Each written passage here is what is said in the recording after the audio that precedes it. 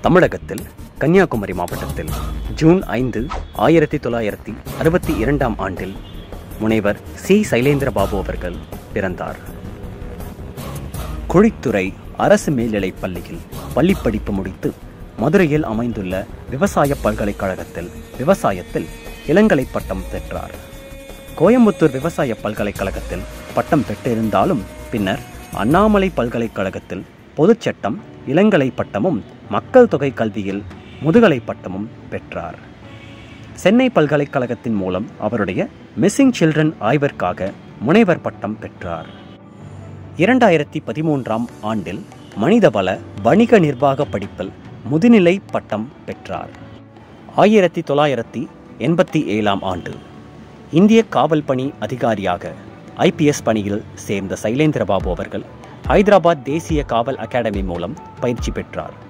காவல்துறை உதவி கண்காணிப்பாளராக ஏடிஎஸ்பி கோபிச்செட்டிப்பாளையம் சேலம் மற்றும் திண்டுக்கல்லில் பணியாற்றி காவல்துறை கண்காணிப்பாளராக செங்கல்பட்டு சிவகங்கை கூடலூர் மற்றும் காஞ்சிபுரம் மாவட்டத்திலும் பணியாற்றினார். பின்னர் காவல்துறை துணை ஆணையராக அடையாறிலும் பின் காவல்துறை துணை தலைவர் டிஐஜியாக விழுப்புரம் சரகத்திலும் இணை ஆணையாளராக சென்னையிலும் பணியாற்றியுள்ளார். கரூர் தலைமை லஞ்ச ஒழிப்பு அதிகாரியாக பணியாற்றுவதற்கு முன்பு காவல்துறை துணைத் தலைவர் ஆக திருச்சியிலும் பின் சென்னை வடக்கு மண்டலத்தின் காவல்துறை துணைத் தலைவராக பணியாற்றுவதற்கு முன் காவல்துறை தலைவராக ஐஜி கோவையிலும் பணியாற்றினார். உடற்பயிற்சியை தீவிரமாக கடைபிடித்து உடலை தனது கட்டுப்பாட்டில் வைத்திருப்பதோடு மட்டுமல்லாமல் உடல்நலத் தகுதி எனும் தமிழ் நூலை எழுதி உடலை கட்டுக்கோப்பாக வைத்திருப்போருக்கு விருந்தாக இந்த நூலை தந்துள்ளார். தீர தீர விளையாட்டு செயல்களான நீச்சல் தடகளம் துப்பாக்கிச் சுடுதல் சைக்கிளிங் போன்றவற்றில் அதிதீவிர பங்களிப்பால் நீச்சலுக்காக தேசிய போலீஸ் அகாடமி மூலம் ஆர்டி சிங் கோப்பையை பெற்றுள்ளார். டிசம்பர் இரண்டாயிரத்தி நான்கில் பாங்காக்கில் நடைபெற்ற ஏசியன் மாஸ்டர்ஸ் அத்லெட்டிக் சாம்பியன்ஷிப்பிலும் சென்னை மாரத்தான் மற்றும் கோவை மாரத்தான் போட்டியிலும் தொடர்ந்துள்ளது. கனவு பெரியதாகவும் செயல் அதைவிட பெரியதாகவும் இருக்க வேண்டும். We started this journey as a sport to emphasize that it is essential for every Indian citizen to be physically and mentally fit and healthy.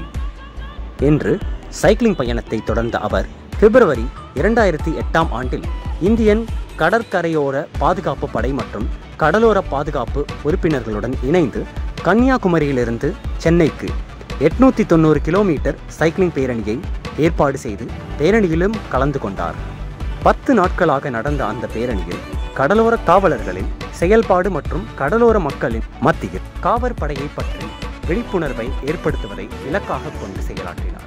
துப்பாக்கி சுடுவதில் ஆர்வம் கொண்ட சைலேந்திர பாபு அவர்கள் காவல்துறை மற்றும் பொதுத்துறை சார்ந்த துப்பாக்கி சுடும் போட்டிகளிலும் கலந்து கொண்டார்.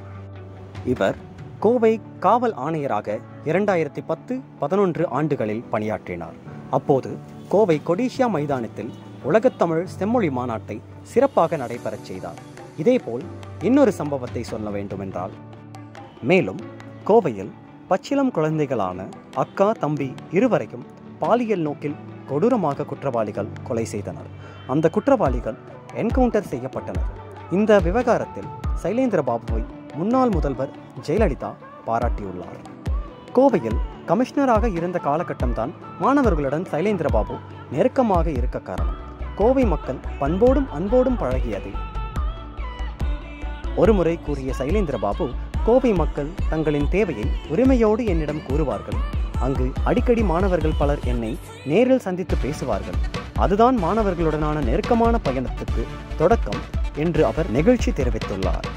இதே போன்று தீயணைப்புத் துறையின் ஏடிஜிபியாக சைலேந்திர பாபு பொறுப்பேற்று வகித்த காலத்தில் அதாவது இரண்டாயிரத்தி பதினைந்தில் சென்னையில் ஏற்பட்ட பெருவெள்ளத்தின் போது தாம்பரம் முடிச்சூர் உள்ளிட்ட பகுதிகளுக்கு நேரடியாக சென்று நீரில் மூழ்கிய பொதுமக்களை காப்பாற்றினார். பல பள்ளிகளில் பெண்களுக்கு தற்காப்பு கலை பயிற்சிகளை தர நடவடிக்கை எடுத்தவரும் இவர்தான். காவல்துறையில் சிறப்பாக பணியாற்றியதற்காக குடியரசுத் தலைவர் விருது உயிர்காக்கும் பணிகளை மேற்கொண்டமைக்காக பிரதம மந்திரி விருது தமிழக முதலமைச்சரின் கேலண்டரி விருது தமிழக ஸ்பெஷல் டாஸ்க் ஃபோர்ஸ் கேலண்டரி காவல்துறை பதக்கம் உள்ளிட்ட பல்வேறு விருதுகள் சைலேந்திர பாபுவுக்கு வழங்கப்பட்டுள்ளது. ஒருமுறை தனது பேட்டியின் போது அவர் சொன்ன வார்த்தைகள் இளைஞர்கள் சமுதாயமும் குடும்பமும் நம்மிடம் என்ன எதிர்பார்க்கிறது என்பதை அறிந்து கொள்ள வேண்டும். நாம் என்ன செய்கிறோம் எதற்காக செய்கிறோம் என்பதை அறிந்து செயல்பட வேண்டும். தன் பண்புகளை இளைஞர்கள் ஆராய்ந்து அவற்றை சரி செய்து கொள்ள வேண்டும். ஒவ்வொரு இளைஞனும் ஏதாவது ஒரு துறையில் சிறந்து விளங்க வேண்டும். அப்பொழுதுதான் அவர்களுக்கு சமுதாயத்தில் மதிப்பு கிடைக்கும். கிடைக்கும் வாய்ப்புகளை பயன்படுத்திக் கொள்ளாதவர்கள் மன்னிக்கப்படக்கூடாதவர்கள் என்றார். ஆயிரத்தி தொள்ளாயிரத்தி தொண்ணூற்றி ஏழில் சிவகங்கையில் ஒரு பேருந்து விபத்துக்குள்ளாகி பதினெட்டு பேர் உயிருடன் மீட்பதற்கு இவர் பெரும் பங்காற்றினார்.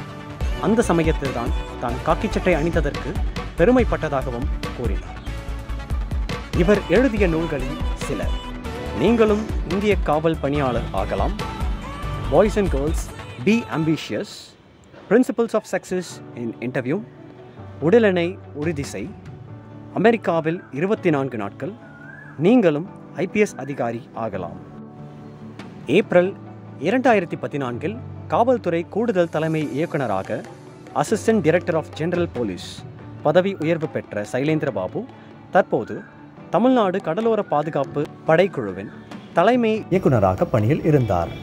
தமிழக காவல்துறையின் தலைமை இயக்குனர் திருப்பதி முப்பது ஜூன் இரண்டாயிரத்தி இருபத்தி ஒன்று அன்று ஓய்வு பெற்றதை ஒட்டி தமிழக டிஜிபியாக திரு சைலேந்திர பாபு அவர்கள் பொறுப்பேற்றுள்ளார். தனது தன்னம்பிக்கை வார்த்தைகளால் பல இளைஞர்களுக்கு முன்னுதாரணமாக விளங்கும் திரு முனைவர் சி சைலேந்திர பாபு அவர்களை போற்றும் விதமாக இதோ எனது ஓவியம். ஜெய்ஹிந்த் தலை கொடுத்தார் அந்த அனைவருக்கும். தாயகமே எங்கள் முதல் வணக்கம். தாயின் மணிக்கொடி தாயின் மணிக்கொடி சொல்லுது ஜெயின் தாயகம் கத்திட தன்னலம் போக்கிட சொல்லுக ஜெயின்